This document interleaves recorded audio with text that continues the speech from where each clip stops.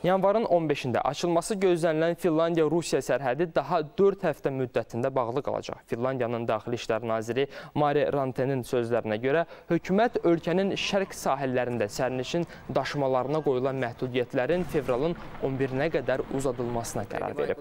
O deyib ki, Rusiya ərazisində hələ də Finlandiyaya keçmək üçün sərhədin açılmasını gözləyən miqrantlar var.